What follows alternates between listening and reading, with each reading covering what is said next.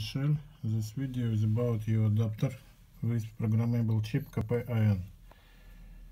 I pre-programmed chip on your adapter as default. Look how to install and reinstall adapter with chip into the camera.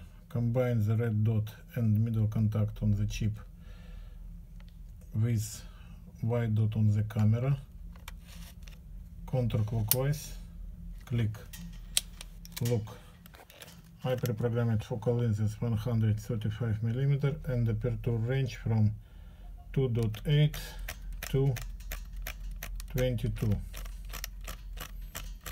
you always can reprogram the chip on your camera from our installation instruction instruction of programming.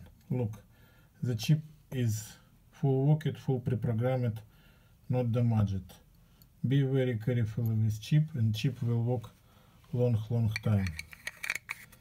Now I packaging your adapter and sending to you. Thank you for your attention.